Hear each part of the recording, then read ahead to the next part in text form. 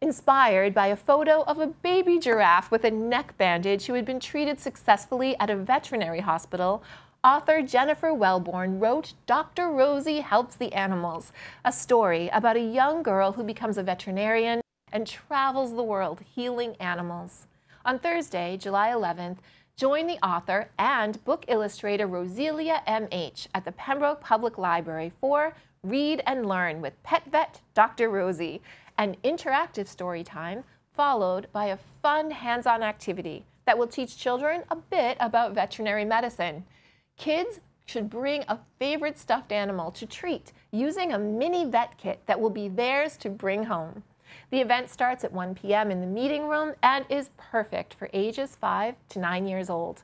Sign up by visiting the calendar section of the Pembroke Public Library website.